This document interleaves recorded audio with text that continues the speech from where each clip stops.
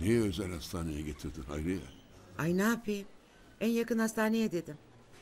Hadi şimdi bir de buna üzül. Durduk yerde bir ton masraf. Allah aşkına canımı sıkma Ali Rıza. Necla halletti işte oldu bitti.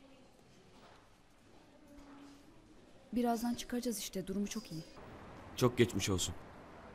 Aklım sizde. Aramaya çalışırım ben yine. Merak etme.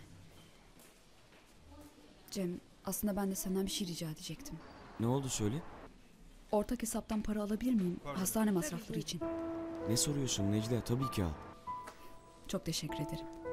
Annem dün gece Nehir teyzeye borçlanıp ödemiş de ben de bugün ona ödeyeceğim. Lütfen bir daha böyle bana sorma. Ne gerekiyorsa kullan. Senin de paran. Çok sağ ol canım. Necla, Hadi canım babamı çıkartıyor şimdi sonra görüşürüz. Görüşürüz. Hürmetlerimi söyle. Söylerim. Hadi çok öptüm. Maşallah maşallah. Ya gerek yoktu yürürdüm ben. Çıkışa kadar böyle. E, iyiyim ama. Direnme oturdun işte hayatım. Aa, Necla. Ne kadar ödedin kızım? aa, Ali Rıza ay çocuk gibisin vallahi ha. Evde konuşuruz lütfen yapma.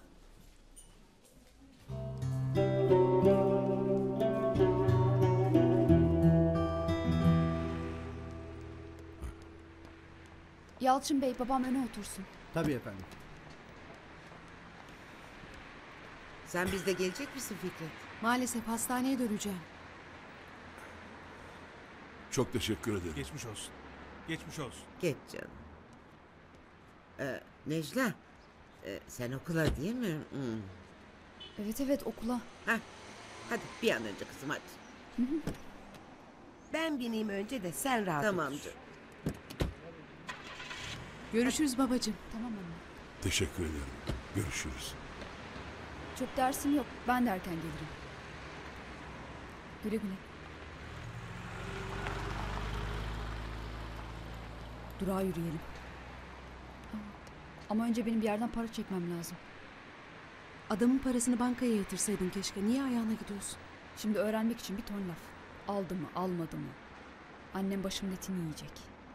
İyisi mi götürür eline veririm.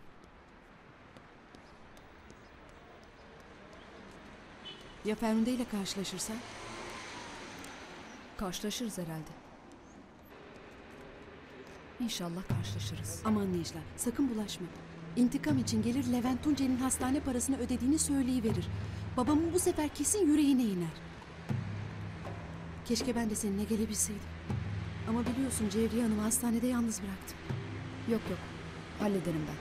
Hadi görüşürüz.